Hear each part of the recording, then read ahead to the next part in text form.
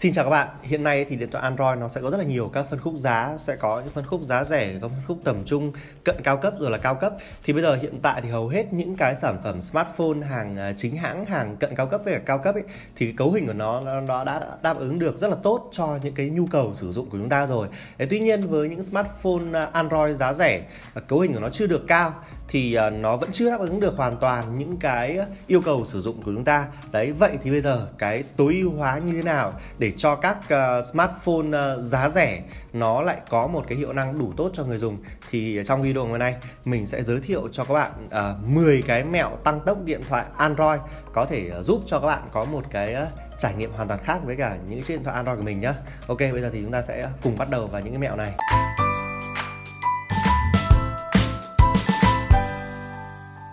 Đầu tiên thì ờ, với một cái điện thoại Android, nếu mà chúng ta muốn tăng tốc cái phần cứng của nó thật là nhanh ấy thì ờ, chúng ta sẽ vào cái phần tùy chọn cho nhà phát triển. Đây, chúng ta sẽ vào phần cài đặt này, xong sau đó chúng ta sẽ kéo xuống dưới, chúng ta vào hệ thống này, xong sau đó chúng ta sẽ ờ, bật cái tùy chọn cho nhà phát triển lên. Nếu mà bạn nào mà chưa thấy có sẵn cái tùy chọn nhà phát triển này, thì các bạn, một là các bạn sẽ ấn thật nhiều lần vào cái phần kernel, phiên bản kernel này, hai là các bạn sẽ ấn thật nhiều lần vào cái phần số phiên bản dựng này đấy thì nó sẽ xuất hiện ra cái mục uh, tùy chọn cho nhà phát triển. Đấy thì cũng tùy thuộc vào từng máy thôi. Thế sau khi chúng ta vào cái phần tùy chọn cho nhà phát triển rồi thì chúng ta sẽ kéo xuống dưới. Đây chúng ta sẽ kéo xuống dưới nhé thì ờ, nó có cái phần là tăng tốc phần cứng cho chia sẻ kết nối này. Thì thực ra là chúng ta cứ bật lên cho nó chắc chứ nó cũng không quá tăng nhiều đâu. Nhưng mà cái phần mà chúng ta quan tâm nhất là cái phần ở phía dưới cùng này này. Nó sẽ kéo xuống dưới cùng. Thì chúng ta sẽ chỉnh sửa cái ờ, tỷ lệ hoạt cảnh đây, ví dụ như ở đây mình đang để tỷ lệ hoạt cảnh là 1x nhé đây thì mình ra ngoài màn hình home thì nó như thế này, các bạn thấy không? Đấy, kéo lên nó sẽ như này. Thế ví dụ bây giờ mình sẽ tắt cái ờ, hình ảnh đi nhá. Đấy, mình tắt cái hoạt cảnh đi. Đây, các bạn sẽ nhìn này. Mình thoát ra này. Thoát ra luôn, đúng không? Đấy, bấm vào phát này, lên luôn, đúng không? Thoát phát ra luôn, đúng không? Đấy, thì đấy là cái đầu tiên để cho chúng ta có thể tối ưu hóa cái chuyển động, để cho chúng ta có một cái cảm giác là à cái điện thoại này nó rất là nhanh, nó rất là mượt. Đấy, tiếp theo nữa nào. Ờ, chúng ta sẽ à, download cho mình một cái phần mềm. Đấy chính là Nova Launcher. Bởi vì thực ra ấy, là các nhà sản xuất ờ, điện thoại Android bao giờ họ cũng sẽ có một cái giao diện tùy biến cho mình. Tuy nhiên là mình thấy là với những giao diện tùy biến ấy có một số những chức năng mà chúng ta không cần dùng. Đấy, ví dụ như là chúng ta chuyển này, đấy, có những cái hiệu ứng mà nó theo kiểu là hình dạng lập phương, hình dạng khối này đấy rồi là thậm chí là chúng ta mà mở khóa màn hình như này đấy nó sẽ có những cái vuốt chạm hình giọt nước rồi hình ngôi sao các thứ. Thì như thế nó sẽ khiến cho cái máy của chúng ta nó trở nên nó tương đối nặng.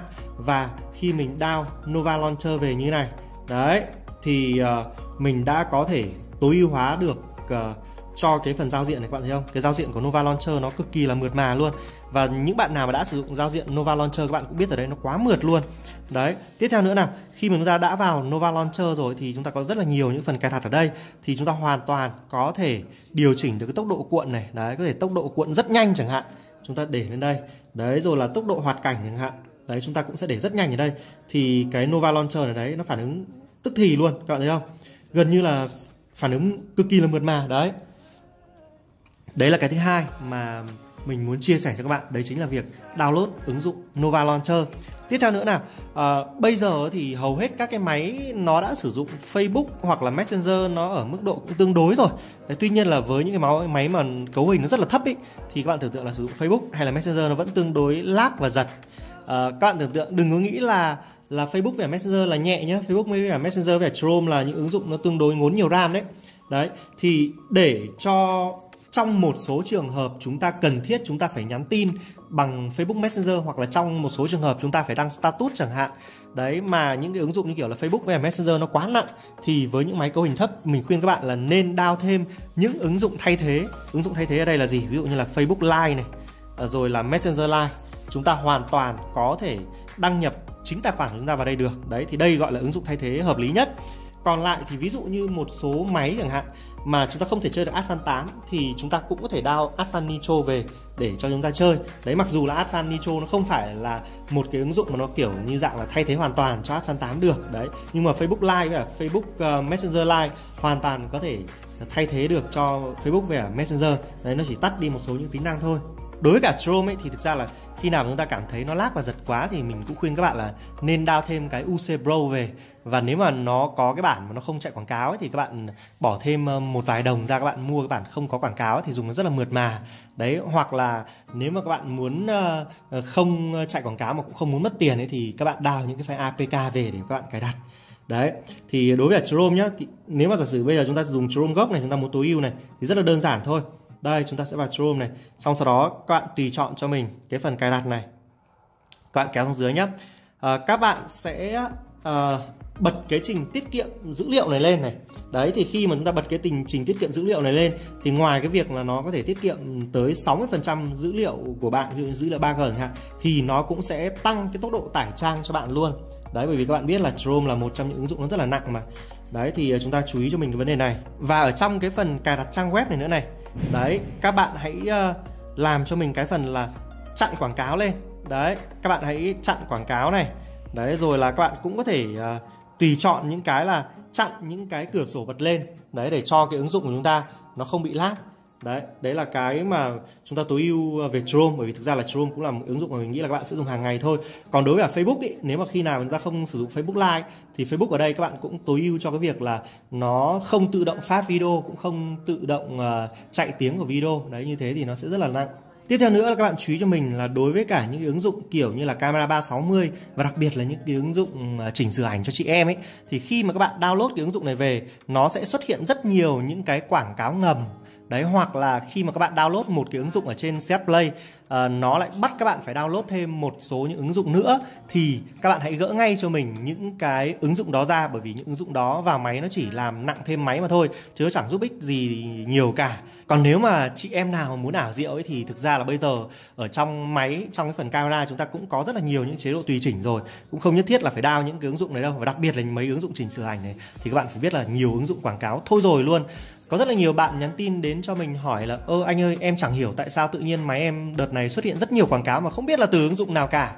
Nhưng cuối cùng kiểm tra ra là từ rất nhiều những ứng dụng về chỉnh sửa ảnh. Đấy thì bạn chú ý cho mình cái điều này. Đối với cả một số máy Android ấy, thì ờ, nó còn cho phép các bạn tùy chọn cái độ phân giải màn hình. Đấy ví dụ như là các bạn có thể tùy chọn độ phân giải màn hình đang từ Full HD cộng xuống HD cộng chẳng hạn để cho cái thiết bị nó tiết kiệm pin hơn cũng như là để cho cái ờ, thiết bị của chúng ta nó trở nên mượt mà hơn. Tuy nhiên là mình nghĩ là với những cái sản phẩm mà nó đã có cái màn hình Full HD rồi ấy, thì cấu hình của nó lúc đấy mình nghĩ là cũng đã đủ rồi. Chúng ta không cần phải tùy chọn như thế làm gì cho nó mất công cả. Có một số bạn thì ờ, bảo mình là cái máy của chúng ta đang chạy lag và giật thì ờ, chúng ta sẽ bật cái trình tiết kiệm pin lên thì uh, mình nói như này này. Uh, với cái trình tiết kiệm pin này thì nó sẽ nên bật khi nào mà máy của chúng ta nó chỉ còn khoảng ờ, 20% pin thôi. Chứ còn ví dụ như mình thấy một số bạn máy còn khoảng hơn 5% pin thậm chí là 80 90% pin các bạn cứ bật cái trình tiết kiệm pin này lên để cho cái thiết bị của chúng ta nó trở nên mượt mà hơn. Cái điều đấy là hoàn toàn không phải đâu nha các bạn nhé điều đấy hoàn toàn không phải. Và chúng ta bật lên như này thì thậm chí là nó còn giảm xung nhịp của con chip đi để cho nó tiết kiệm pin hơn. Và điều đấy sẽ khiến cho máy của các bạn nó không trở nên mượt mà đâu. Đối với một số bạn, khi mà máy lát và giật thì các bạn sẽ có một cái thói quen như thế này. Đấy là chúng ta sẽ bật cái phần đa nhiệm này lên, đúng không? Thế xong rồi sau đó thì à, chúng ta sẽ à, tắt đi tắt đi, xóa tất cả đi đấy thì mình thấy như này đối với cả những cái máy cấu hình cao ấy thì cái điều này mình thấy là cũng không hẳn là nó đã đúng. Bởi vì là đối với cả những máy cấu hình cao ví dụ như bây giờ mình vào Chrome chẳng hạn đấy bây giờ các bạn thấy không? Khi mà mình tắt đi nhá nó phải lốt lại từ đầu rồi này. Đấy nó phải nó lốt lại từ đầu luôn. Và cái điều này nó sẽ khiến cho uh, máy của chúng ta lốt lại như thế nó sẽ chậm hơn. Đấy bình thường chúng ta để thì nó sẽ chẳng bao giờ là nó phải lốt lại đâu. Đấy chúng ta bật lên như này. Đấy trừ khi nó quá tràn ram thôi. Thì đối với những cái máy cao cấp ý, thì chúng ta không cần phải làm cái điều này. Nhưng đối với những cái máy mà nó cấu hình nó quá thấp ấy, thì cái việc làm như thế này mình thấy ở thời điểm hiện tại nó vẫn là tương đối hợp lý. Nếu mà các bạn để ý thì ngày xưa ví dụ như là những cái chiếc điện thoại kiểu như là Samsung Galaxy à, S3, S4 chẳng hạn đấy những cái điện thoại từ cái đây khoảng ờ, ba bốn năm ấy thì nó có rất nhiều những hiệu ứng màu mè. Ví dụ như các bạn chuyển trang này đấy rồi có những hiệu ứng lập phương rồi có những hiệu ứng giọt nước rồi là tay di chuyển đến đâu thì giọt nước đi theo đến đấy hoặc là tay di chuyển đến đâu ánh sáng di, ờ, đi theo đến đấy. Tuy nhiên bây giờ hầu hết ờ, những cái máy bây giờ là nó đã không còn những cái tính năng đó rồi đấy, và nếu mà giả sử như nó còn thì mình cũng nghĩ là các bạn nên tắt đi. Và màn hình nền này thì chúng ta cũng nên để là cái màn hình nền là màn hình nền tĩnh thôi, chứ không phải là màn hình nền động. Bởi vì là màn hình nền động ấy thì nó sẽ khiến cho máy của chúng ta trở nên chậm chạp hơn. Tiếp theo nữa, có một số bạn hỏi mình là có nên download những cái ứng dụng dọn rác về hay không ấy? Thì câu trả lời của mình là không chúng ta không nên download những ứng dụng dọn rác về, vì là những ứng dụng dọn rác này gần như nó chẳng giúp ích mấy cho cái điện thoại của chúng ta, và thậm chí là nó còn khiến cái điện thoại của chúng ta trở nên nặng hơn. Bởi vì khi mà các bạn download những cái ứng dụng dọn rác này về thì bản chất của nó là nó sẽ xóa file cách ở trong điện thoại của chúng ta và chúng ta hoàn toàn có thể làm cái điều này thủ công được. Đấy, và chẳng có cái gì là nó miễn phí cho các bạn đâu. Và khi các bạn đao những ứng dụng như kiểu ứng dụng rác này về thì nó sẽ có những cái quảng cáo đi kèm vào đó để nó kiếm tiền chứ. Đấy, và cái điều đấy thì chắc chắn là sẽ khiến cho các bạn à, máy của các bạn trở nên nặng hơn rồi.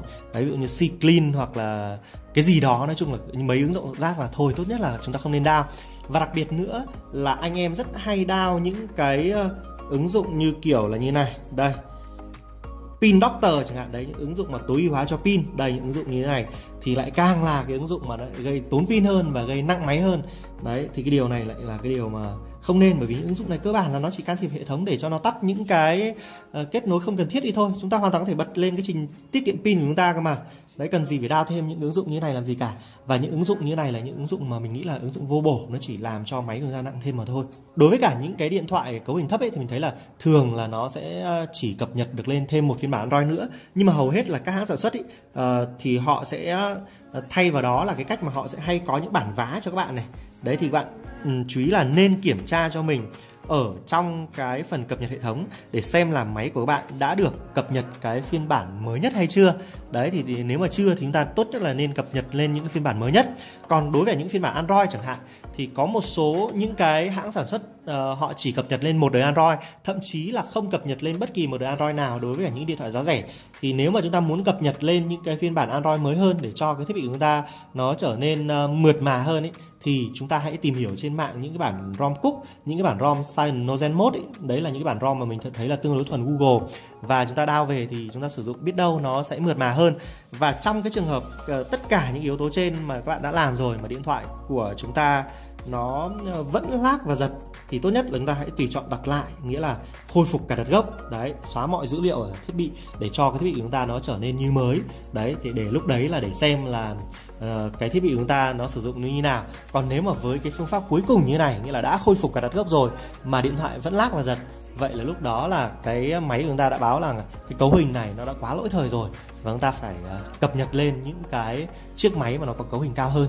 Và như vậy là mình vừa mới giới thiệu cho các bạn 10 cái mẹo để cho các bạn có thể tối ưu hóa tăng tốc được tốt cho những cái sản phẩm Android. Các bạn cảm thấy sao về những cái mẹo này và nếu mà các bạn có bất kỳ những cái mẹo nào khác để uh, cập nhật thêm thì các bạn có thể bổ sung luôn ở phía dưới phần comment của video này nhé.